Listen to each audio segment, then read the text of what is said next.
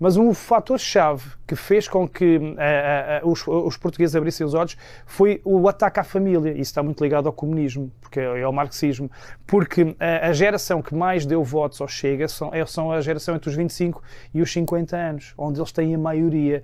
Porque são aqueles que estão a sentir na pele o ataque aos valores, o ataque à doutrinação às crianças, que a ideologia de género, a, a dificuldade de ter uma casa, de ter um emprego estável. Uma, uma das questões que eu acho que é interessantíssima e que talvez tenha sido subexplorada uh, é o fato de que você citou muitos eleitores jovens nessa última eleição de Portugal, não é? 25 a 50 anos. Exatamente.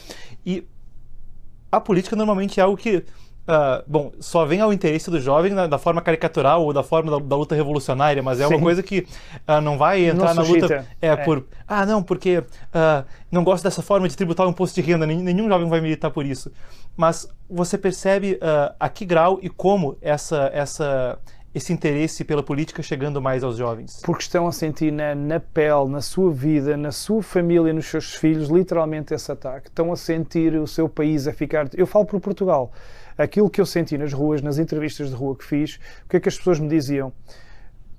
muito inconformados com o facto de estar a haver uma imigração desregulada, principalmente de culturas de, um, muçulmanas, árabes, uh, de, de, culturas que até que, que têm hábitos diferentes e que às vezes querem impor a sua cultura e que vêm acrescentar às vezes violência, vêm, vêm descaracterizar um bocadinho algumas zonas do, do, país. Portanto, esse é um dos fenómenos que tem deixado muitos portugueses hum, hum, eh, eh, incomodados. O principal de todos é a corrupção, escândalos de corrupção na esquerda, porque são uns atrás dos outros. Portugal foi. Este governo socialista que caiu uh, tinha sido eleito em 2020. Caiu em 2022 por escândalos de corrupção, mas coisas absurdas, ridículas. É, é que, que, até o cidadão comum fica a pensar como é que é possível esta gente ser, não, ter, ter, não, ter, não ter vergonha. E, portanto, isso foi outra coisa que também deixou os portugueses uh, uh, inconformados e muito também as medidas económicas que, que, que, asfixiam desde o preço dos combustíveis, a habitação, as rendas, o custo de vida muito, muito elevado, o próprio, o próprio tratamento que, que os portugueses tiveram na pandemia, onde foram um dos países mais asfixiados de, do mundo, com, com, lockdowns rigorosíssimos, medidas apertadíssimas, violações dos direitos inconstitucionais, que depois o Tribunal Constitucional veio dizer que foram todas medidas inconstitucionais, e acima de tudo, eu creio que, eu falo por mim que tenho dois filhos, um de 9 e um de 10, este, este ataque aos nossos filhos, ao, ao futuro dos nossos filhos, esta, esta, querer mexer com a cabeça deles, querer incentivá-los à mudança de sexo, quando não podem votar nem podem tirar a carta de condução, mas podem ser incentivados a uma mudança irreversível de sexo, esta doutrinação, esta confusão mental nas cabeças, os pais não aceitam. E mesmo é aquela questão, mesmo quem não quer saber de política, aí nos filhos não tocam. E esse então foi para mim ultimate, o último tiro no pé, mexer na família, mexer no que há mais precioso. E é isso que vai jogar contra eles. E a própria censura, a própria as pessoas perderam a confiança na, na, na televisão, nas televisões, na imprensa. Por isso é que canais como os nossos crescem, crescem, crescem, porque as pessoas querem a, a informação alternativa. E, e isso então faz com que este fenómeno aconteça. E o Chega é o grande exemplo disso. O Chega transformou-se na boia de salvação de milhões de portugueses, milhões. Eu próprio não era Chega e tive que dizer, fazer um vídeo e dizer: olha, eu não tenho partido, mas eu estou a depositar a minha esperança neles, as minhas fichas todas neles, porque tudo o resto é tão mau, tão mau, tão mau, que, que só nos podemos virar para aqui. E se eles são atacados, alguma coisa de bem eles estão a fazer.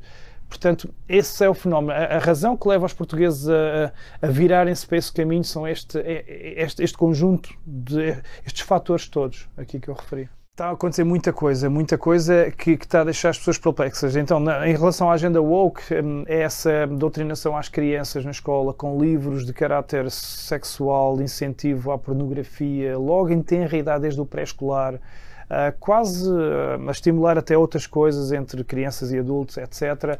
Um, a implementação de casas de banho mistas, onde as crianças não têm. Isto está mesmo já a acontecer em Portugal. As crianças não têm privacidade, meninas misturadas com meninos. Uh, em Espanha, a partir dos 12 anos, um, um jovem pode mudar de nome sem pedir o consentimento aos pais, assim sem mais nem menos. Um, em alguns países da Europa já podem até mudar de sexo adolescentes sem o consentimento dos pais, e se os pais se opuserem, é-lhes tirada a guarda dos filhos. Ou seja, estamos a falar de um procedimento que, lhes vai, que os vai esterilizar para sempre. Uma, um jovem, um adolescente que não tem maturidade para tomar uma decisão irreversível na sua vida e que ficará impedido de ter filhos para sempre pode fazê-lo sem o consentimento dos pais e até pode depois processar os próprios pais, porque as escolas estão agora a, a instalar pessoas a, a, especialistas para essa área, para aconselhar os jovens a, se eles têm dúvidas, olha, então vai já mudar, vais mudar de sexo, ou seja, para mexer com a cabeça deles. Estão a implementar histórias de drag queen para crianças em espaços públicos em Portugal, prides dos pequeninos com cartazes com comprimidos para os incentivar a mudar, a, mudar de sexo. Esse, esse é um, um, dos aspectos. Temos artistas que estão uh, cada vez com, com, com, com concertos de cariz extrasexual, numa perversão uh, inacreditável, como o Sam Smith, como, mesmo no, como vemos no Brasil, Anitas, que são os piores exemplos possíveis. Uh, temos, temos, este ataque está a, ver, está, está a ser feito em múltiplas maneiras em relação à agenda woke. Uh, e, e, depois temos, temos tudo o resto a acontecer. Por exemplo, na Europa, estão, nós vimos na, na, na, chamada pandemia, tivemos muito, e aqui também, o uso do, do, passaporte sanitário, o certificado de vacinação, que foi basicamente um certificado de chantagem para discriminar quem tinha aquela inoculação, quem não tinha. E eles aproveitaram essa, essa, essa aberração porque foi uma aberração, porque nunca certificou nada nem ninguém, e agora ao tempo sabemos sobre isso, e estão a implementar agora coisas inacreditáveis. O que é que está em cima da mesa na Europa? A carteira digital. E o que é, que é a carteira digital? É, num só documento, as nossas informações fiscais, bancárias, de saúde, de, de escolar, tudo, todas as nossas informações, está tudo ali. E pretende-se também fazer a extinção do dinheiro físico, ou seja, implementar o euro digital. Tudo isto já está em, muito avançado, já está tudo já decretado, só falta ser assinado por baixo. O que é que acontece? A partir daí, quando nós só tivermos a carteira digital e a extinção do dinheiro físico, nós vamos entrar naquele sistema de créditos eh, sociais da China, em que se nós não se nós falharmos em algum aspecto dessa carteira digital, com um dedo numa tecla, eles congelam a nossa vida. Nós deixamos, ficamos, somos não cidadãos. Deixamos de ter passaporte, deixamos de ter carta de condução, deixamos de ter contas, deixamos de existir até sermos bons cidadãos. Eu dou um exemplo. Imagino que temos uma, uma dívida fiscal na carteira digital. Carregam na tecla, enquanto não tratares disso, a tua vida não, não, não continua. Se eles insistem que temos que tomar uma inoculação porque é para o bem comum Enquanto não tomarmos essa inoculação que eles acham que temos de tomar, está a nossa vida cancelada e bloqueada através disso. Por isso é que o dinheiro físico é um garante da nossa também liberdade e independência, porque uh, para podermos ter alguma margem. É, é, materialmente teu, né? E quem está à frente disso e a levar isso num, com, mesmo com muita gana é a própria Ursula von der Leyen. Ela vem anunciar carteira digital, dinheiro. E depois, é, isto é tudo tão macabro, mas, e, depois, e ao mesmo tempo as cidades dos 15 minutos que são o quê? É, eles dizem que para que tudo seja acessível para todos, vamos, vamos criar cidades dos 15 minutos onde a PS conseguimos fazer tudo. Basicamente é formas de futuramente, quando quiserem fazer lockdowns, mais facilmente nos fecharem todos em pequenas cidades de 15 minutos. Ou seja, está tudo. Há muita coisa aí pelo ar e é isso que as pessoas já começam a perceber. E é aí que também entramos nós, as mídias alternativas, para mostrarmos essas perspectivas. Atenção, a televisão diz que isto aqui é para o teu bem, a carteira digital é para o teu bem, o dinheiro digital é para o teu bem, a cidade dos 15 minutos é para o teu bem, mas e pode acontecer isto, isto, isto, isto, isto. E as pessoas então depois tomarem a sua decisão e terem a sua opinião. Porque esta história da narrativa única, como vimos na pandemia, narrativa única na, na, na questão climática, não pode ser. Aliás, a ciência nunca foi feita assim. A ciência nunca foi unidirecional. Era de diferente. Ou mesmo o jornalismo, né? E o jornalismo. Você ia pegar dois jornais, sei lá, na década de 50, 60, um ia falar o contrário Exatamente. do outro. Exatamente. E agora falam todos a mesma língua. O que é o que nos faz desconfiar muito, o que nos faz perceber que há uma agenda, alguém lhe está a encomendar a agenda e são todos a seguir a mesma narrativa.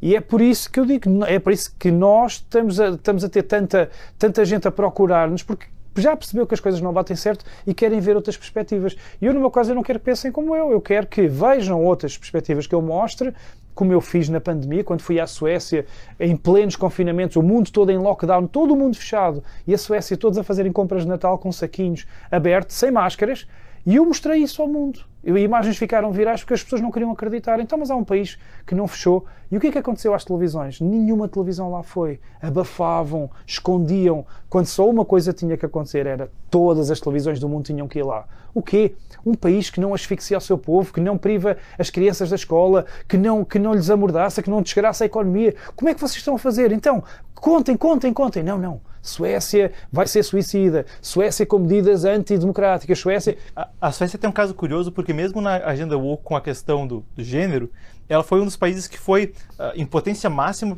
para isso e foi um dos primeiros países a recuar, né? Onde, onde, onde, o primeiro país a levar a sério estudos que alertavam sobre essa questão em crianças também, né? Exatamente, exatamente.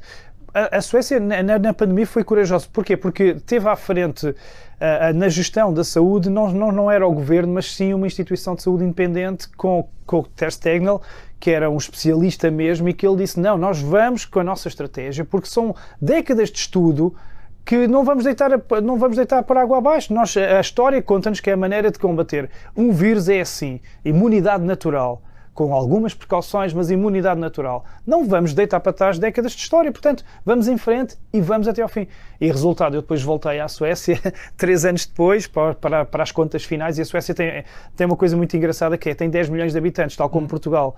E então por incrível que pareça, Portugal foi dos países que mais, que mais asfixiou a população com medidas restritivas, acabou muito melhor do que Portugal, com muito menos mortes da, daquele vírus, sem mortalidade em excesso, sem danos colaterais, com a economia normal. E Portugal está arruinado e pior ainda, nós estamos com uma mortalidade em excesso que não para, porque as pessoas ficaram enfraquecidas na sua imunidade, não só pelas medidas de máscaras, de confinamentos, de álcool gel, porque retira a imunidade natural, não, não contactamos com vírus como sempre contactamos ao longo da nossa vida, mas também por múltiplas inoculações que sabemos que também reduz a imunidade, etc. Embora é este seja um assunto que as redes sociais não gostam muito que a gente fale disto, eu não me estico muito. Nossa missão é cobrir grandes histórias que os outros não cobrem, como a atuação do movimento comunista no mundo e a subversão de nossos valores tradicionais. Buscamos ainda oferecer um antídoto, conteúdo que inspire o melhor da alma humana. Assinando agora a Epoch TV Brasil, além de apoiar nossa missão e ajudar na defesa de nosso país, você ainda ganha acesso a nossos conteúdos originais e exclusivos, como o documentário A Verdadeira História do 6 de janeiro, uma investigação sobre os eventos que marcaram o Capitólio americano. O documentário Zumbis da China, com entrevistas inéditas de ex-oficiais do regime chinês. A produção investigativa Rastreando as Origens da Covid-19, que expõe as origens do coronavírus. A série Fronteiras da Saúde, com informações relevantes sobre a saúde pública que foram censuradas. E confere ainda entrevistas com personalidades relevantes como ex ex-conselheiro de Vladimir Putin e muito mais. Somos uma empresa independente e precisamos do apoio de pessoas como você para seguir com nossa importante jornada aqui no Brasil. Conclua agora sua assinatura da Epoch TV Brasil e faça parte conosco dessa missão. Contamos com você para podermos continuar. Assine agora a Epoch TV Brasil e apoie a defesa dos valores de verdade e tradição.